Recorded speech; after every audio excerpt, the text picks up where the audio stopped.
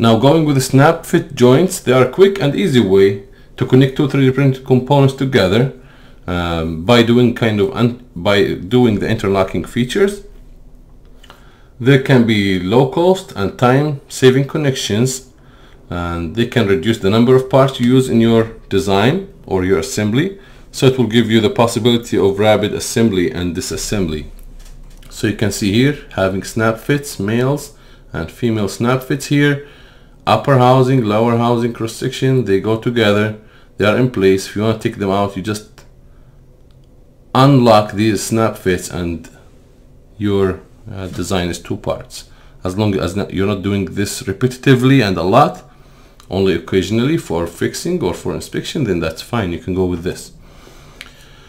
So if we talk in more details about the snap fit connection if you are doing 3d printed snap fits um, it doesn't have injection molding design limitations like draft angles separation lines wall thickness undercuts. It can be easily designed and changed. They are considered a good solution for rapid prototype generation. Uh, in that case the clearance and fit are critical. And because of this they are applied in the design and testing of enclosures. So male female snap fit in here this guy will go in here with a little force from the back it this lip will clamp in here and if you pull it back it will not go out until you apply force on this lip to, to release from place. So as we mentioned before, this is a real male snap fit, male snap fit, female snap fit.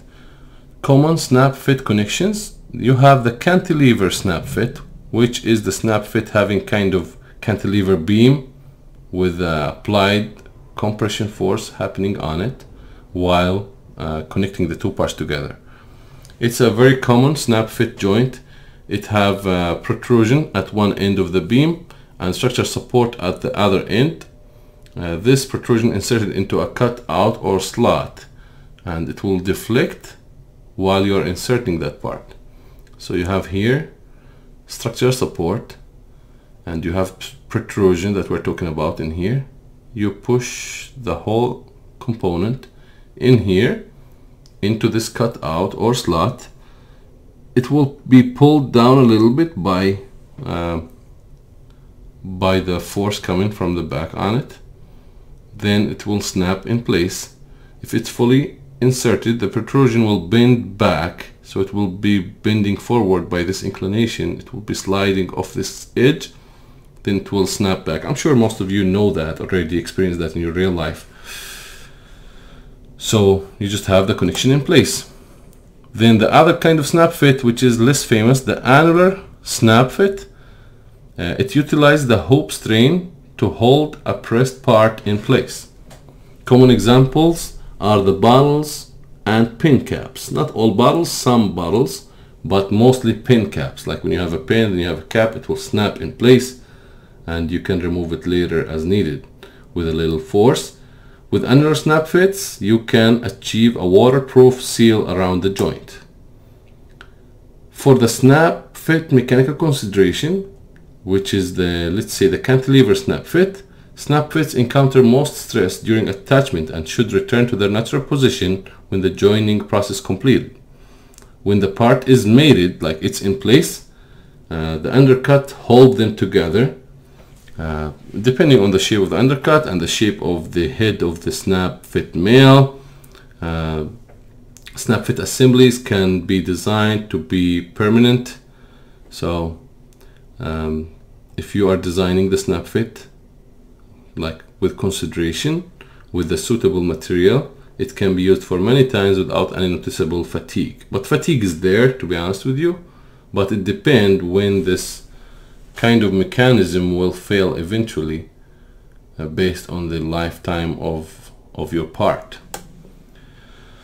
If you're interested in the mechanical uh, analysis, the forces analysis on the snap fit, so this is the male snap fit.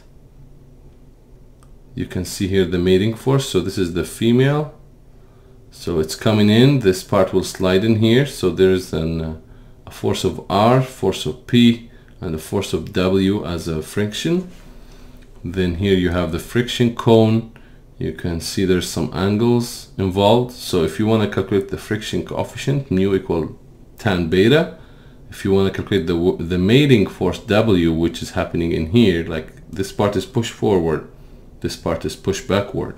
W equals the P force in here multiplied by tan the alpha angle plus the beta angle and can be represented in the other way.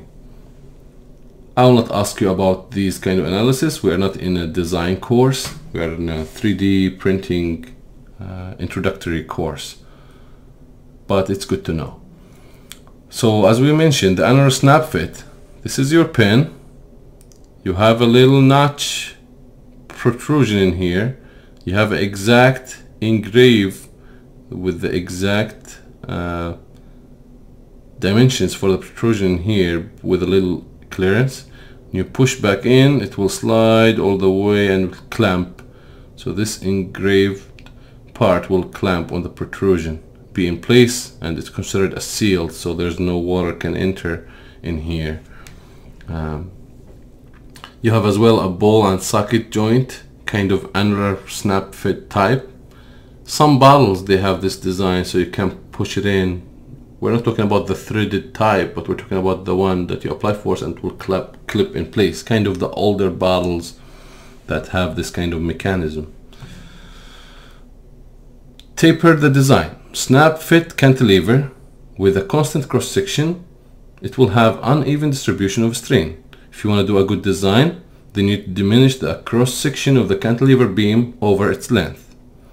It will let you use less material and will give you more uh, more efficient strain distribution in the cantilever. So this is a, a stress analysis for the cantilever snap fit male female. So you can see here most forces applied in here and of course it will change maybe the force will be more in here while you're pushing forward before it's in place but when it's in place mostly the force will be and the stress will be focused in here. Filleting the base of the cantilever, that's always a good practice. You go here, don't give a sharp angles because the, you know, you're applying force in here. So you don't need your cantilever snap fit to be broken from here. Adding a fillet to the cantilever will distribute the stress over the broader area, which will make the connection stronger. The radius of the fillet should be at least 0.5 or half the thickness of the base of the cantilever. That's something. If the base of the cantilever is uh, one millimeter, then you need to have this as a half a millimeter and so on. Increasing the width, if you increase the width for your cantilever snap fit, will help making your snap fit male stronger and um, maybe without analysis you can't reach the optimum um, thickness needed until you do some kind of trial and error to achieve the best stiffness needed. But now with the analysis software, if you want to go further with this, if you are doing a very important application, then you can do kind of finite element analysis and know when this part will fail and when it can handle better to have the optimized thickness needed. But it should be at least over 5 millimeters wide.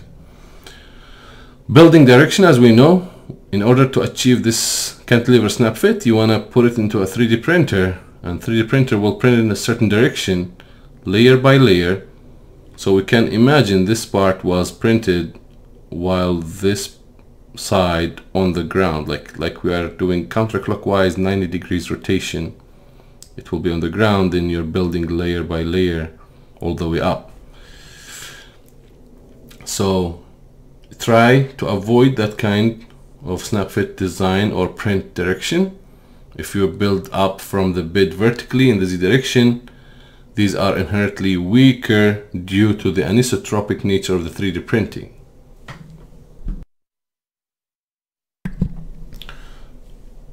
So the snap fit built in the direction shown in the image in here to the left will be much stronger. So instead of going downward, so if you can do it to the left stronger. Why? Because the force will be pushing on the cantilever uh, this way. So it's stronger if you just flip this thing. So that you let me show you. So if you go in here in the first design we saw this is how they built their cantilever.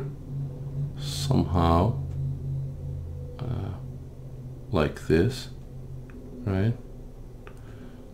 So this is the printer nozzle will come from here. So you build first layer, second layer, third layer, fourth layer, fifth layer, sixth layer, seventh layer, etc. So when you have a force coming from the female snap fit in here, the force will be that way.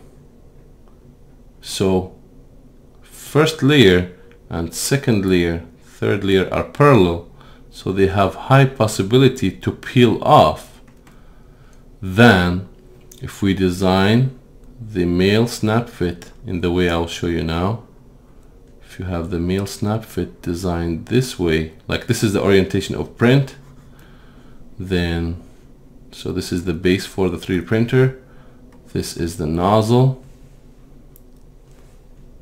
then if you build it this way each one is each green line is represented a layer.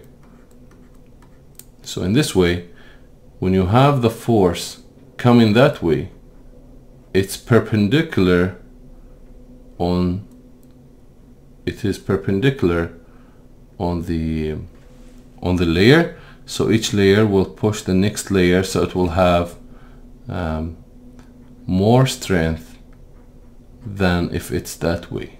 So this is the right way. This is the wrong way to build. Right orient right orientation wrong orientation. Right adding lugs we mentioned that lugs will keep things aligned together and transfer some of the shear loads that the clips may be subjected to.